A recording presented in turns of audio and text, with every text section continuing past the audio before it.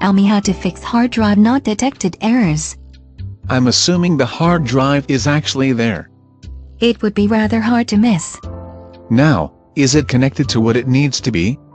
It would be rather hard to get the error message if it wasn't. You can get the error for an external drive too. If you were working with an external hard drive where you backed up your files, or a USB flash drive, make sure it is actually connected. Let's assume it is. If you're working with a Windows machine, see if it is visible in the disk management tool by hitting Windows and R, or entering diskmgmet.msc in the Run dialog box. What if I see it, and more importantly, what if I don't?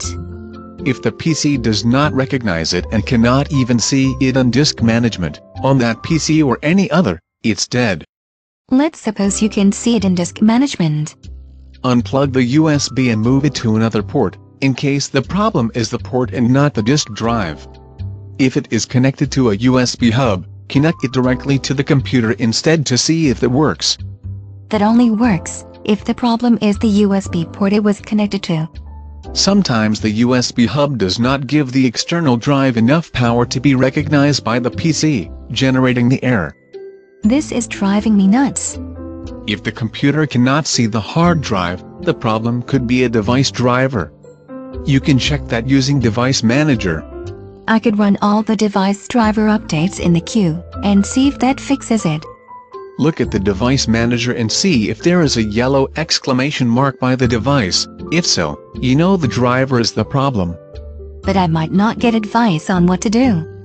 It might tell you an update is needed, or it failed after an update, at which point you should roll back the driver. Or it may have a different error. All else fails, Google it. You could try creating a new partition on the device to allow Windows to access it. Pick the object on Windows Disk Management, right-click on the space and select New Volume. That's not too different from the process of creating a new folder. After you add the partition, make sure it has a drive letter assigned so the PC can see it. This is a USB drive, not a PC. I do not think it has that much space to need a new partition. So reinstall the USB controllers. Your computer may give fix hard drive not detected errors because the USB controller software is corrupted or unstable. Unstable? It has an existential crisis.